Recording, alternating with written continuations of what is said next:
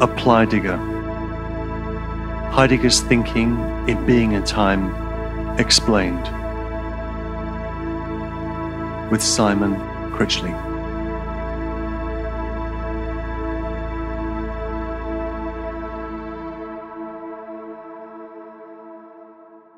Episode 3.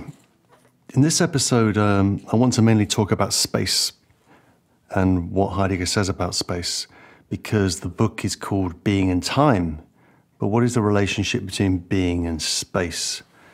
But the, um, the chapter which we're looking at here, which is chapter three of um, Being and Time, Division One, is in three parts. And in episode two, I went through the, the first part, part A, paragraphs 14 to 18. And uh, I want to focus on the third part, which is on space. But the second part, just a few words about that because it's um, interesting, though I don't want to go through it in, uh, in great detail. It's a discussion of Descartes, Rene Descartes. And um, the point of the discussion of Descartes is to provide a, a negative confirmation of Heidegger's ontology of the world. Namely, to show uh, a picture of the world, a picture of the world that we can find in Descartes and in people that come after Descartes, notably Kant for Heidegger. How a picture of the world uh, is formed, um, a picture of the world which Heidegger believes is impoverished, mistaken, um, and a picture of the world that needs to be deconstructed or destroyed in order for the Heideggerian picture of the world to, to get a grip. So, very crudely, um, we could ask ourselves, you know, well, how does Descartes think about world? Well, he thinks about world in relationship to one concept, and that concept is extension. That the world is a thing, set of things, uh, a totality of things which are extended. And um, so, as you might know if you've had an even you know, cursory sense of what uh, Descartes is up to in his work, there are two kinds of things in um, there are two kinds of things. There are extended things, uh, things in the world, natural things, things which are made, uh, and then there are things like us, and we are thinking things.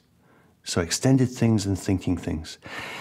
And the question that Heidegger is looking at is really how that uh, idea of the world as extension, as extended things, really what, what happens with that. And the, the, um, the point that he's making in these paragraphs, this is paragraphs 19, 20, 21, is that Descartes' ontology of the world, kind of in quotation marks, as extension, does not seek the phenomenon of the world at all it passes over, it leaps over the phenomenon and interprets world in terms of the ontology of the present at hand. So, the claim he makes in his discussion of Descartes is that the being of things in Descartes, the being of entities, is determined as constant presence at hand. Something constantly present um, something constantly present as something available to knowledge, um, and a knowledge based upon intuition or perception. So, our relationship to the world is an intuitive, perceptive relationship to the world.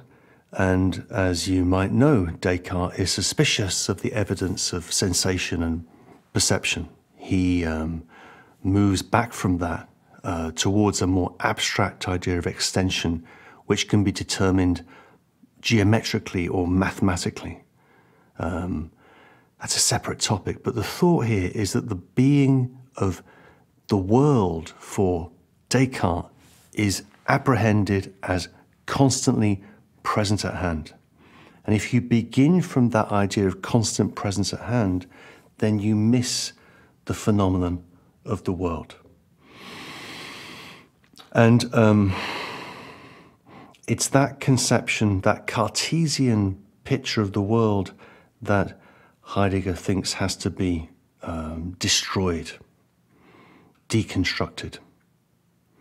In seeing the world as constant presence at hand, Descartes does not see the world. The world is overlooked, it becomes invisible.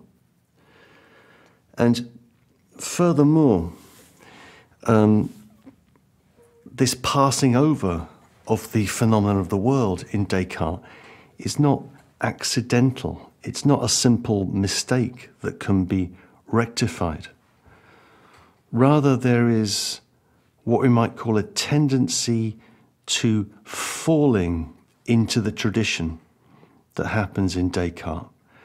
Um, one of the things that Heidegger would do in these paragraphs is he'll show how Descartes' idea of extension, of uh, world as being composed of extended things, draws from a medieval understanding of substance. And that draws, that goes all the way back to the Greek idea uh, we find in Aristotle of substance as uh, ousia, substance or essence which defines the nature of things for Aristotle.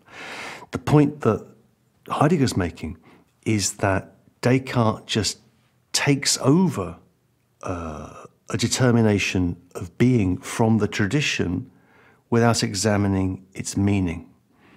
And that taking over from the tradition is part of a tendency towards falling, falling into tradition that for Heidegger defines the modern world picture, or what philosophers unlike me would call modernity. People love to talk about modernity. I don't like to talk about modernity so much. But the, the idea is that there's a modern world picture, a Cartesian world picture, the world as composed of um, uh, objective stuff which can be is best in, understood scientifically, and the paradigm for um, science in the modern worldview is mathematics. So, what we have in the Cartesian picture of the world is the mathematization of nature. The mathematization of nature. And again, it's not that Heidegger thinks that conception is wrong. It's just working with a set of assumptions that need to be um, need to be examined. We have to deconstruct the Cartesian picture of the world in order to see that which shows itself as world, a practical world, a handy world, a world that we live in and find meaningful, but a world, that world that we live in that's become invisible. Now, this raises a really um, interesting question I'll just mention here and we'll come back to in uh, later episodes, I imagine. It's that uh, what Heidegger is doing in Being and Time is phenomenology. Phenomenology understood simply as a description of um, existence, and then the attempt to deduce certain structures from the description of existence, what he calls the existentials. And he characterizes those existentials as a priori. Um, so that's good. That's a constructive phenomenology. But that phenomenology has to be linked uh, for Heidegger to destruction or a deconstruction of the tradition. And indeed, in the introduction to Being in Time, um, he says that the, um, the question of the meaning of being, as he understands it, will only become concrete, it's the word he uses, concrete, once we have proceeded through a complete destruction or deconstruction of the ontological tradition. And that ontological tradition is one that, uh, in the modern period, finds its shape in the work of Descartes. So, this has an interesting um, consequence, uh, maybe two consequences that I could uh, draw out here. Firstly, that what Heidegger is doing in Being and Time is a formal analysis of the world, a formal phenomenology of the world, in order for that to become concrete, to become actual in the world, we require a deconstruction of the world picture that dominates um, uh, our thinking about the world, which we find in Descartes. And uh, secondly, that what Heidegger is doing is close to a kind of ideology critique. Heidegger is trying to dismantle the ideology of the modern world picture that he find that he thinks finds its real uh, shape and force in the work of Descartes, and that Cartesian picture is then refined but inherited and reproduced in the work of Immanuel Kant. But let's leave that to one side for a second and move on to the question of space. We're still in chapter 3, part C. And Heidegger's going to analyze the question of space. Um, and the first move he's, that we should make is that the word for space and spatiality in German are the words Raum and Räumlichkeit, um, which are linked, as the terms uh, is evident from the way they sound, to the ideas of room and roomliness. And in many ways, Heidegger's point in um, these very interesting paragraphs of Being in Time is to understand the idea of space in terms of room and spatiality in terms of roomliness. Namely, that space um, is experienced by me right now as the room that I'm in. And the roomliness of this room, the fact that it feels of a nice temperature, it feels temperate. Um, I am I'm aware of space firstly as being inside a room. And the the point to make in relationship to that is that Dasein's insideness, the insideness of Dasein, is not the insideness of consciousness or the mind, which is somehow in the head, but rather it is um, a sense of being in a room, spatially spread out in the, um, the meaningfulness of a room that we inhabit. Now, there's a vast and hugely important question about the relationship between time to space in Heidegger's work and the relation of both these uh, concepts to being. In the early work of Heidegger, it's fair to say that there is a subordination of space to time. And indeed, this is suggested by the title of the book that we're reading, Being in Time. The book is not called Being in Space. And being is time, and time is finite, as I said in the first episode. Now, the first thing to note is the terms that we use to describe um, Dasein. Um, terms like openedness, which I've said a few times, ecstasis, uh, transcendence, disclosure. Um, these are all spatial terms, spatial metaphors if Dasein is a transcendent being, if its being is to be in the world, if it's always already out there in the world, and that's temporal being, then the way I'm understanding that is spatially, in terms of spatial metaphors. There's a bigger question here about whether time can be understood temporally or whether time always has to be understood in terms of spatial metaphors um, beginning of being in time, Heidegger says time is the horizon for the understanding of the meaning of being. And again, horizon is a spatial term, something that I see on the horizon, as it were. So, time uh, is more important than space in the early work. In Heidegger's later work, there is a move to what he calls time space, Zeitraum, which has a kind of unitary structure in Heidegger's later work. Um, but let's not get ahead of ourselves. But this is a really interesting few pages, few paragraphs. And the question of space is analyzed in three moments. Let me just mention the key concepts and then I'll try and demonstrate them. Um, firstly, in paragraph 22, the question is what is the spatiality of inner worldly, ready to hand things? Again, this ugly, Baroque Heidegger talk. What is the space of ready to hand, handy stuff? And he says there are three terms there. The firstly is first term is nearness or near. The second is place, and the third is region. And by region, again, it's one of these terms that the, the German term is Gegend, which can be translated as region, but it means something closer to an idea like neighborhood, uh, uh, a kind of neighborhood or a vicinity, something like that. Near, place, region, or neighborhood.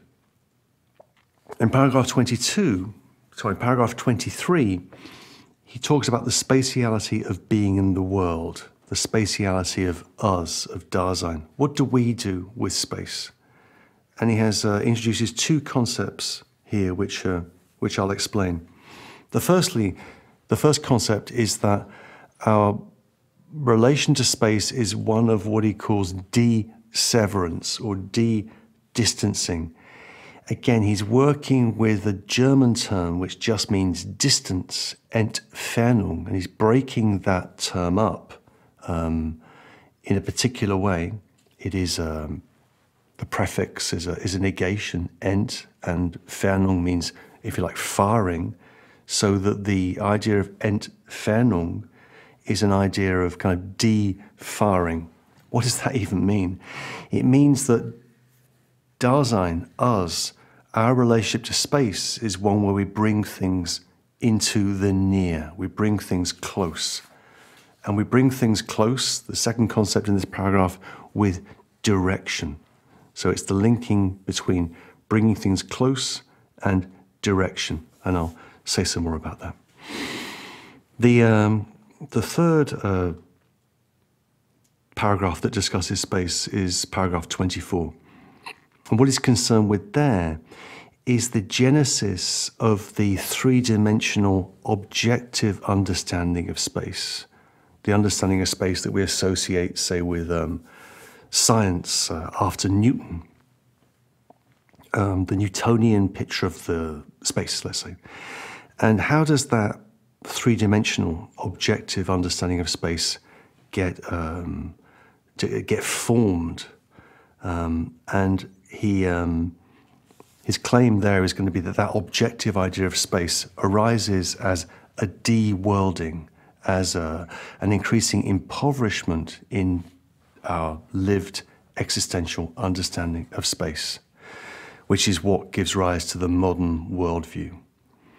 And, um, you know, there is, um, in Heidegger's later work, there is a preoccupation with space, which I'll just mention here. Um, there's a late text by Heidegger, which I think is available on audio uh, for those of you who really are insomniacs out there in audio land, called Art and Space from 1969.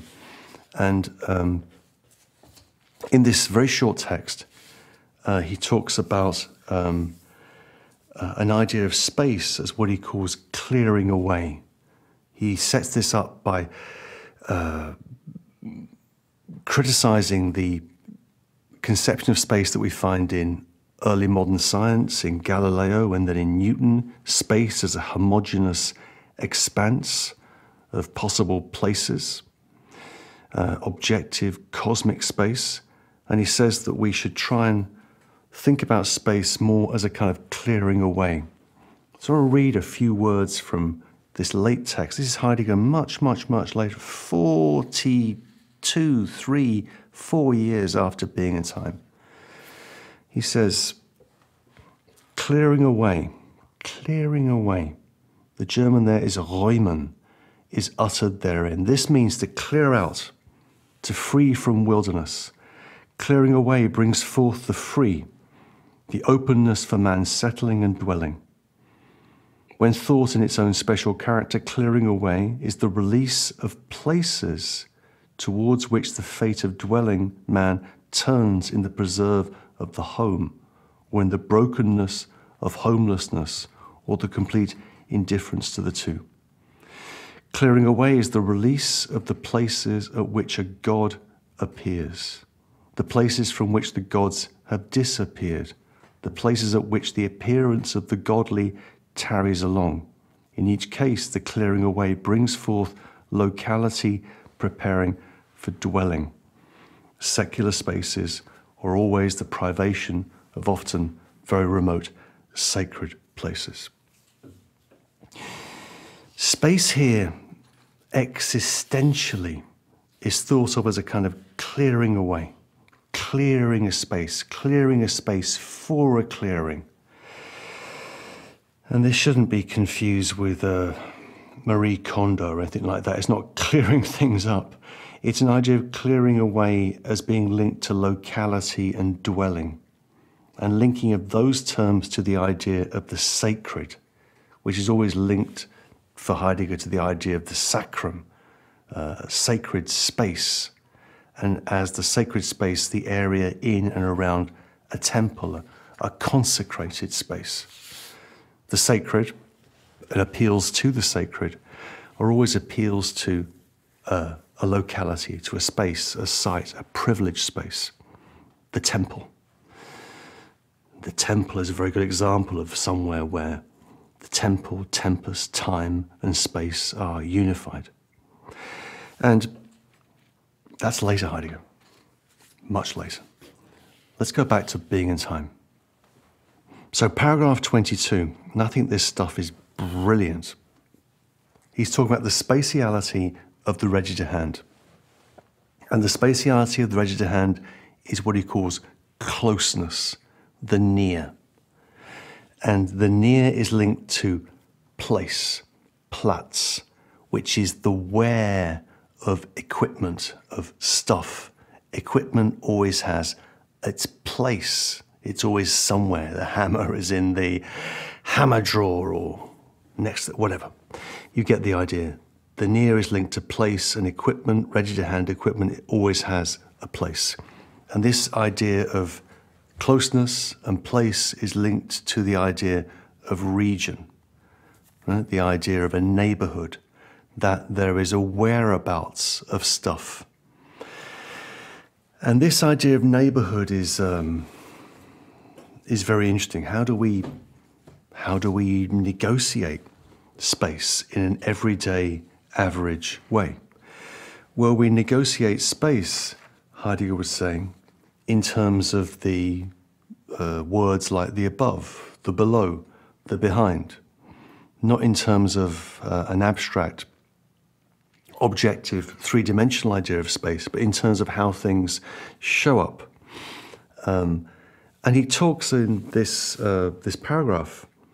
Um, so, space is space round about us. That's a key thing. Space round about us. And he gives the example here of the sun. And he says the sun is characterized by certain places. The sun is not objectively present at hand uh, insofar as it's experienced in terms of our environment but the sun is experienced in terms of its places in relationship to our environment sunrise, midday, sunset, midnight. This is why, if you like, the um, geocentric view of the universe with the Earth at the center is intuitively right, right. It doesn't feel to us proximally and for the most part that the Earth is rotating around the Sun in some obscure corner of a vast galaxy of many millions of other galaxies in this ever expanding cosmos. It doesn't feel like that. It feels like we're at the center of things and things, natural things show up in relationship to where we are. It feels like the sun rises and sets. And it's that uh, everyday intuitive understanding of space that uh, Heidegger wants to focus on here. He also talks about the way um, uh, space is organized um, in, say, houses. He'll talk about the house has its sunny side and its shady side, the way it's divided up into rooms, right? Be certain rooms which would be sunny rooms and certain rooms where the sun doesn't shine at certain points. And we'll organize our lives, we'll organize our lives spatially around certain rooms. He talks in these uh, pages about churches and graves. And churches and graves, certainly in Western Europe, uh, point towards the east. Right? They point towards Jerusalem. They're organized in accordance with uh, a spatial organization which um, is linked to an idea of, of Christianity largely. Now, the, um, the point he's making in paragraph 22 is that we do not perceive space uh, abstractly, we do not apprehend space abstractly, we inhabit places. Uh, we inhabit whereabouts. And the things that we have around us also inhabit those whereabouts. And things only show up as present at hand once they're no longer in their place, right? So, for example, if I say to myself, you know, where is my phone or where is my wallet? Uh, the wallet should be in my jean pocket or the phone should be in my bag or whatever. It's not there. And at that point, there'll be a switch from the ready to hand to the present at hand. A kind of categorical shift will take place at that moment. But first and foremost, proximally and for the most part, most closely and mostly, I experience the world as a world of a world that's around me. And this takes us on to paragraph 23 the condition of possibility, this language that Heidegger uses, this Kantian language of transcendental arguments which are scattered across these pages of Being and Time, the condition of possibility for the spatiality of the ready to hand is us, is Dasein. So, in the same way that Dasein is the worldhood of the world, spatially, um, we are the condition of possibility for this understanding of roomliness, space. So, how is that idea of space? The spatiality of being in the world is, as I said a few minutes ago, defarring or deseverance or de-distancing. And this de-distancing is a relation to space that makes farness disappear. Our relation to space is one where we bring it close. There's an extraordinary um, three word sentence in um, this paragraph which makes no sense in English. In German, it's Entfernung, entdeckt, Entfernheit, which is like defarring, discovers distance. That's translated as deseverance discovers remoteness, which says absolutely nothing. But the point he's making is really simple is that the way in which we discover space is by reducing distance. And um, Dasein is characterized, Heidegger says, by a tendency towards the near, a tendency towards the near. And this is how interestingly, continuing on with the um, anachronistic metaphors in being and time, here we have some wonderfully anachronistic technological metaphors in being and time. We get a discussion of radio. Um, he says on page 140 of the translation, all the ways in which we speed things up, we're more or less compelled to do today all the ways, I repeat that quotation, all the ways in which we speed things up, as we are more or less compelled to do today, pushes on towards the conquest of remoteness. With the radio, in quotation marks, for example, Dasein has so expanded its everyday environment that it has accomplished a disseverance of the world. So let's take the example of radio. When I turn on the radio, I listen to the radio a lot. When I turn on the radio, that radio could have its source in New York or Washington, D.C., or London or Paris or, you know, wherever. Um, but when I turn on that radio, I pull it into closeness. I'm in a relationship of complete intimacy, proximity to the radio program. And this is kind of how it is with, uh, with media for Heidegger. Uh, Heidegger didn't have the good fortune, or he had the, he had the, uh, the bad fortune or good fortune, depending on which way you see it. He didn't live in a time, um, certainly in being in time, where there were televisions around. But television in German is uh, a television is a Fernseher, a far seer. But this kind of makes Heidegger's point. Uh, the television allows us to see far, but in seeing far, the far is drawn in close. So, media are a collapsing of distance for Heidegger. And obviously, we could, um, we could develop that thought in a way that would be pretty alarming to Heidegger in relationship to social media. If the uh, intimacy of radio is one thing, the intimacy of television and the broadcast media is another thing, then think about the intimacy of our relationship to uh, social media, to our Instagram feed and our Facebook activity. That's a different kind of intimacy.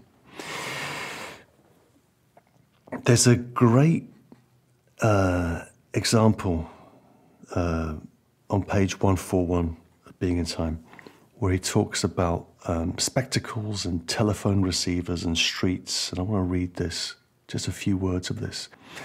When, for instance, a man wears a pair of spectacles which are so close to him distantially that they are sitting on his nose, they are environmentally more remote from him than the picture on the opposite wall, right? So the spectacles through which I'm looking at the notes and looking at the room that I'm, I'm in, and I'm, you know, I'm seeing the microphone and all the rest, is further away from me than the microphone, further away from the, the book I'm holding in my hand. That there's this kind of malleability of space, this shifting between the close and the far. So, um, you know, uh, the telephone rings and I'm pulled into proximity with someone who is far away. And if I'm on the street, say the telephone rings when I'm on the street, it's the street that's actually under my feet, the street that I'm moving along, the street that slides by my body, as Heidegger says. But then when the phone rings, I'm pulled out of that into uh, a telephone conversation. The point being that Dasein brings things close, reduces distance. And Dasein's fundamental relationship to space is one of estimation. We do not measure things objectively. We do not measure things um, scientifically. We measure things in terms of estimation. And um, there's a lovely little discussion of this. So if we, if Dasein's relation to space is one of bringing things close, then that closeness is measured in terms of how we estimate that closeness. And this could bring us into a wider discussion of, uh, of measurement, which I won't go into now. Well, maybe I will. Let me just say this. This isn't something I believe, but let me just say it. Um, there's an argument for um, um, measurements in England, which is where I'm from, although I'm take no pride in the fact. There's an argument for measurement, which is that uh, an English, how long is an inch? An inch is an Englishman's thumb. A foot is an Englishman's foot. a yard is an Englishman's stride, right? So the measurement is estimation based upon the dimensions, in this case, of an Englishman. And this is then opposed to a, an objective understanding of measurement, which you can find, say, in Europe, which for some English people is kind of over there, a long way away. And there in Paris, in a bank or in the vaults of a, a government ministry, I forget where, they have the meter rule, the shining gold meter rule in a glass case sitting there as the objective, absolute measurement of space, the metrical system. Heidegger's point would be that actually we begin measuring by estimation, and the idea of an absolute measure or an objective measure is secondary to that. And that's the key thing that needs to be uh, remembered. The second um, element of this, this paragraph linked to the idea of bringing close is the idea of direction. That uh, it's not just that we bring things close, we bring things close by directing ourselves towards them.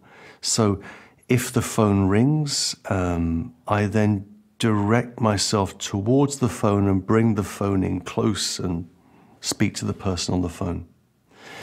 So there is a question of um, spatial orientation here. And one thing that Heidegger is thinking about in these pages is, uh, is as often in Being and Time, is Kant and the problem of orientation in thinking. And how do we orientate between left and right, say? And Kant thought that left and right had to be understood in terms of the relationship to the body. Um, Heidegger's point is that that problem of orientation has to be understood as presupposing the directedness of being in the world. We have to engage in a phenomenology of uh, direction and bringing things close in order to understand the problem of orientation. And this brings us on to um, paragraph 24, which is uh, where Heidegger argues for the priority of existential spatiality, roominess, um, the roundaboutness of space, and the derived or founded nature of scientific spatiality. And Heidegger, as often in, as the book Being in Time proceeds, um, comes up with really beautiful summaries of his, uh, his argument, and they're really worth reading. So, for example, on page 145, he says, um, as being in the world, Dasein has already discovered a world at any time. This discovery, which is founded upon the worldhood of the world, is one that we have characterized as freeing entities for totality of involvements. Freeing something and letting it be involved is accomplished by way of referring or assigning oneself circumspectively, and this in turn is based upon one's previously understanding significance. What's new in that language is the language of, of freeing. So our relationship to world, our relationship to space is one where we, we, we, we clear away and we free up. And that's what has to be um, emphasized. So the question now becomes, well, how does this three-dimensionality of pure space, how does this Newtonian or Galileo view of Galilean view of space arise out of existential spatiality. And it arises, as um, will not be surprising by now, it arises by a relation of derivation. The, uh, the cognitive understanding of space, the scientific understanding of space, the idea of space as what, uh, what Kant calls the form of outer sense for the subject um, are derived from this existential understanding of space, which is what comes first. And this is what we have to focus on. And interestingly, in these these moments in being in time, these pages of being in time, there are references to uh, building, surveying, and calculation. And this takes us back to what I was saying about maybe about the temple and uh, the sacred. That we, let me put it this way why do architects love Heidegger so much? Well, architects love Heidegger because he talks about building and dwelling and thinking, and he kind of dignifies their, their practice with a, a philosophical jargon, we might say, to be slightly cynical. But it's more that the um, if we're to understand, you know, what a building is, what it is to construct a, a place, that has to be understood in relationship to our being in the world, and not in relationship to some abstract uh, idea of spatiality, because that abstract idea of spatiality um, will not produce dwelling. It will actually accentuate the homelessness of uh, modern experience. So, we could imagine in this relationship to space um, the possibility of a, a Heideggerian architecture, which would be based upon our lived experience of the environment, of the space as it is around us. And it's not that we um, it's not that we have to reject the um, objective scientific understanding of space, but we have to understand it, that the genesis of that conception of space out of being in the world. And in relationship to that, to finish like I finished last time, I want to finish this time with another poem, which I think perhaps makes Heidegger's point. Um, there are two poems actually which I've got uh, in front of me, and they're both by the Portuguese poet uh, Fernando Pessoa. Pessoa, who was the least known and uh, in many ways perhaps the most important, the greatest of the modernists. Um, you know, his work was left in a trunk in Lisbon, and only 30 or 40 percent of it has been published to this day. And he wrote in different personas, what he called heteronyms, uh, completely distinct personages with separate biographies and separate lives with different names. In fact, one of the uh, one of the characters in this in this universe of heteronyms was Fernando Pessoa himself, and there are others like Alvaro de Campos, um, Reis, and others. But the master, um, the master heteronym, was someone called Alberto Caeiro, and Alberto Caeiro was described by Pessoa as a, a shepherd, a poet shepherd living on a hill. And he writes poetry of enormous simplicity and some humor. And I think this maybe makes the point that Heidegger wants to make. So this is a poem by Pessoa in the voice of Alberto Caeiro. What we see of things are the things.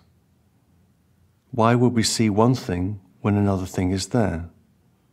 Why would seeing and hearing be to delude ourselves when seeing and hearing are seeing and hearing?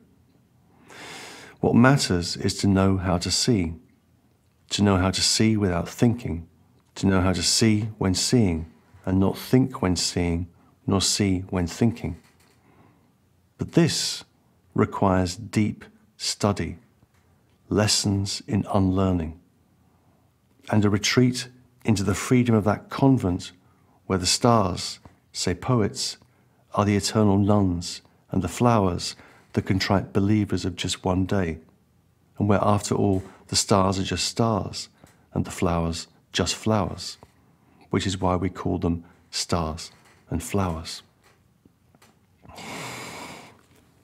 That's the poem. The thought here is that we have to learn to see things as things and to see things as things in the space in which they appear and not to delude ourselves by believing that seeing and hearing and seeing and hearing something else, We have to learn to see without thinking and not um, think when we should be seeing.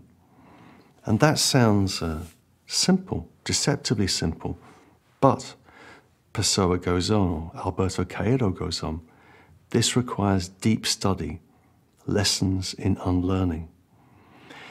And in many ways, what Heidegger is trying to do in Being in Time is to give us lessons in unlearning.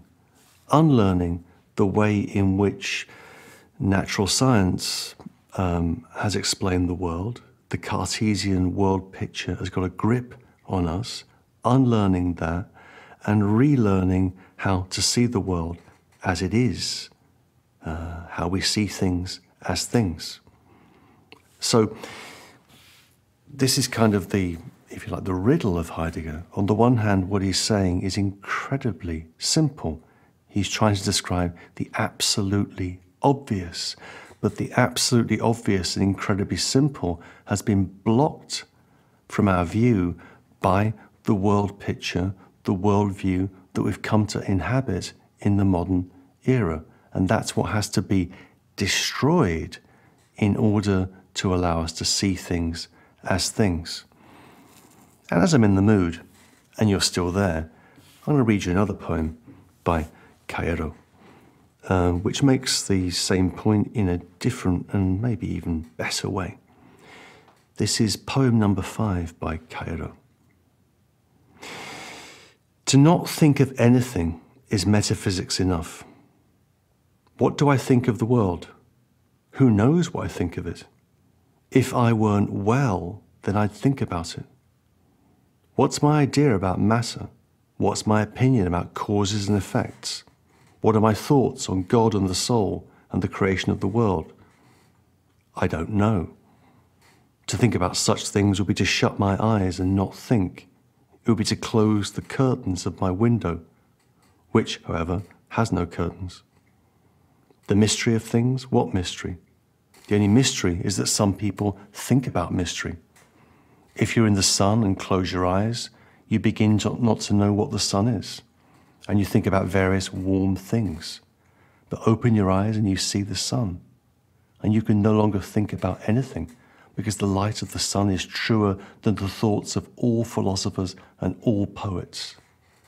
The light of the sun doesn't know what it does, and so it cannot err, and it's common and good. Metaphysics? What metaphysics do those trees have? Only that being green and lush and of having branches which bear fruit in their season, and we think nothing of it. We hardly even notice them. But what better metaphysics than theirs, which consists in not knowing why they live and in not knowing that they don't know? That's that poem. Fascinating, right? Mystery of things, what mystery?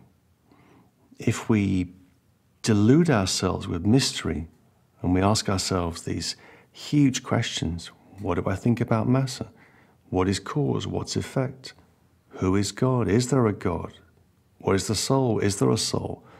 Did, was the world created or did it, has it always existed? Blah, blah, blah, blah, blah. To think about these things would be to shut one's eyes to the world it would be to shut the curtains of existence and to uh, live in this kind of um, abstract, fake world. Um, as the poet says here, you know, the important thing is not to think about mystery. If you're in the sun, you close your eyes, um, then you can begin to think about it. But the point is not to close your eyes and to be in the sun and the light of that sun is truer than the thoughts of all philosophers and all poets. So, in many ways, what Alberto Caeiro Pessoa is doing is similar to what Heidegger is arguing for in uh, his discussion of space and the wider arguments of being in time. We have to go back to seeing things as things, seeing the absolutely obvious as obvious, and to stop asking certain questions. As the poet says here, what do I think of the world? Who knows what I think of it? If I weren't well, then I'd think about it. the condition that makes possible certain kinds of philosophical questions is sickness. It's a disease, as Wittgenstein says in the investigations. And we have to learn to get well, to show the fly the way out of the fly bottle, to go back to everyday life insofar as we can. And that's what Heidegger, that simple lesson, is what Heidegger's uh, trying to encourage us to do in his work. But, and this is going to take us to the next episode, that world and the spatiality of that world, the roominess of that world, is not just a world of things, a world of hammers and radios and so on and so forth. It's also a world of persons. So the next theme we're going to look at is the question of being with others. Uh, how do we understand that in relationship to the understanding of world? But we'll pick that up next time. Thank you very much. See you next time.